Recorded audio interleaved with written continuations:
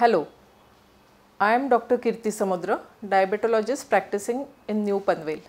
Today I am going to talk about diabetes, how to know whether you are diabetic or not, its complications and how to prevent diabetes. Diabetes as we all know, it's a lifestyle disease. Actually it's a disorder and there are different types of diabetes. Commonly whatever we are seeing is type 2 diabetes. There is something called type 1 diabetes and gestational diabetes. What we all see uh, all around in our neighborhood or with, within our relatives, it's called type 2 diabetes. What happens in diabetes is that insulin production or action becomes hampered. In type 1 diabetes, all the cells that is beta cells which produce insulin are destroyed and that is why these patients do not secrete insulin. Insulin is a hormone which is required for glucose metabolism. Glucose is a source of energy for our body, for our cells. As we all know, our body is made up of multiple millions and trillions of cells. Every cell is a living structure which requires energy for its function and all the cells are always functioning means from our birth to our death. So, every cell will require energy which it derives from glucose. Glucose we get it from food. Whatever food we eat the major portion of our food is carbohydrates. The carbohydrates after digestion they get converted into glucose that is the simple sugar. This glucose is mixed in the blood and through the blood it reaches to all the organs and all the cells of the body. Blood goes with the in with the help of blood vessels with the with the branches of blood vessels which are smallest branches are the capillaries this glucose enters the cell and then it is converted into energy. So, for entry of the glucose inside the cell insulin is required. Insulin is a hormone which is secreted by the beta cells of islets of Langerhans which are present in our pancreas. Pancreas is an organ which is situated in the C loop of small intestine that is duodenum behind our stomach. Along with beta cells, there are something called alpha cells which secrete another hormone called glucagon. Glucagon has the action which is exactly opposite to insulin. So, in type 1 diabetes as I told you which actually is uh, found in children, usually it is found in children below the age of 20 years because of some problem maybe some autoimmune uh, problem or some viral infection which leads to autoimmunity, these beta cells are destroyed and these children cannot produce insulin. And because of lack of insulin they cannot metabolize their sugar and the sugar starts increasing in the blood which is very dangerous because then these children they start burning fat for energy purpose. And with the burning of fat some toxic products are produced which are called ketone bodies. And then these children usually present with some neurological problem or with diabetic coma. Fortunately, this is quite a rare condition not very commonly seen, but type 2 diabetes is very very common. If we see and see the statistics of all all over world, our country that is India is number 2 in type 2 diabetes number, first being China and the number at present is almost more than 65 millions and more than that that is around 72 millions are undiagnosed. That is the people they do not know that they are they are diabetic but they are in the range of pre-diabetes. So, how do we know that whether you are, you are diabetic or not?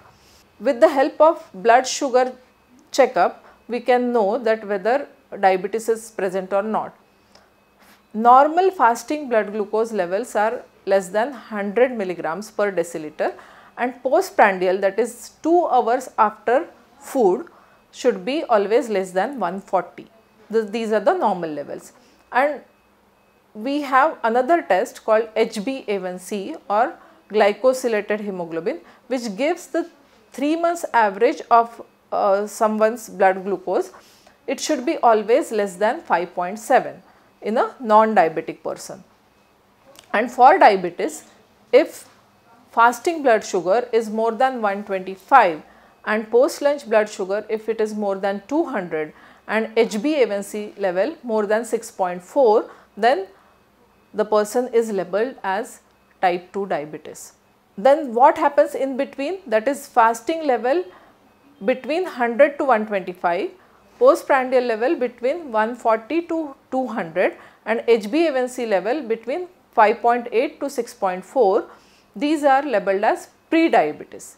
This is for the first time when somebody checks the blood sugar. Every time the symptoms may not be present. So, diabetes many of the times is detected only on routine examination maybe pre-employment checkup or somebody has gone for uh, blood sugar checkup or routine checkup just just like that. Or somebody presenting with fever and just doing blood blood or urine sugar test and comes positive. So most of the times people get detected because of all this. But if you have some symptoms or if you have you are at high risk that is if you have a strong family history of diabetes that is your parents or grandparents or uh, first degree relatives are diabetic, you must check for diabetes.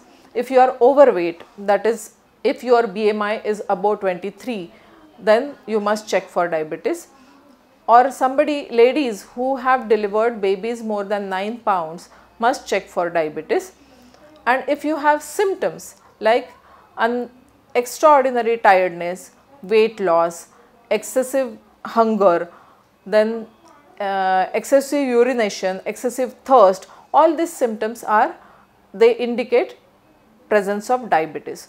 Sometimes delayed wound healing or shoulder pain, neck pain or something which is not healing uh, very well, some wounds which are not healing very well, tingling and numbness all four limbs or usually feet, burning feet, all these also point to diabetes and person must check for diabetes.